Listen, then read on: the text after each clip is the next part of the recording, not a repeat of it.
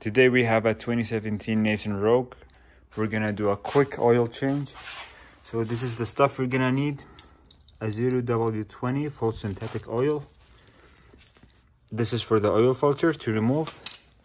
And a 14 millimeter. All right, so we got our pin under the plug. We're gonna go ahead, crack this open. Make sure the pin is under.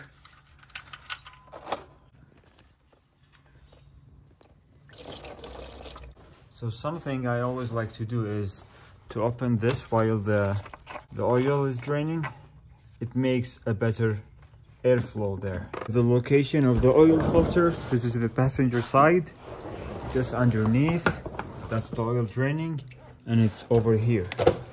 On this side, you remove this trim, and it's right there.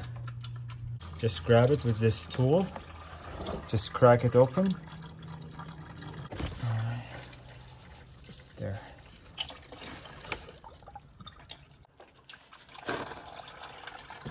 remove it now all the way.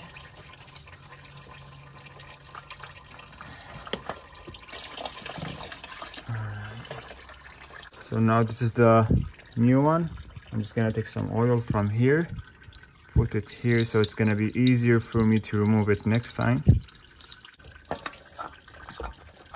Alright, after that is done, I just tighten it with my hand. Gonna put this back in there. The oil is still draining, so what I like to do, just put a tunnel here. This is the same oil, 0W20. I just like to put some, yeah, see what's gonna happen now? It's just going through the system and getting all of the old oil out. So we're just gonna wait for a minute, let that go. We're gonna put back the plug. We're gonna make sure it's clean. We're gonna put a new washer on it.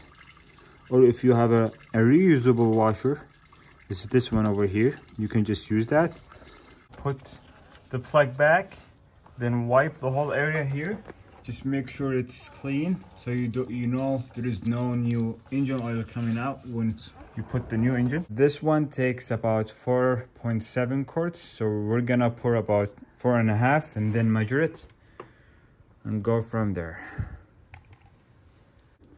four and a half quarts we're gonna stop right there.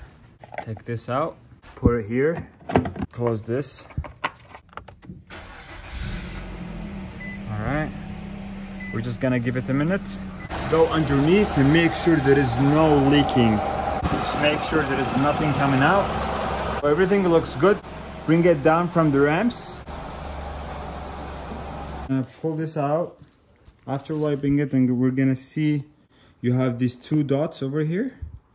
You want to make sure it's between them. We're gonna pour just a little bit more. It's about 4.7 now. Right now it's showing me just in the middle so that's good.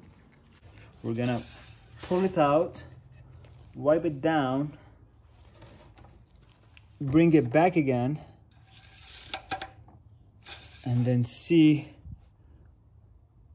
still in the middle right now all right so that's that's fair enough. That's perfect. That's where we want it to be. So we're gonna call that a wrap. An extra tip for you guys if you have a, an oil pin just like this just make sure you wipe it clean after you used the car.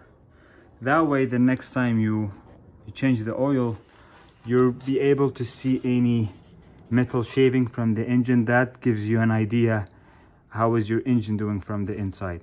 Thanks guys for watching. See you on the next one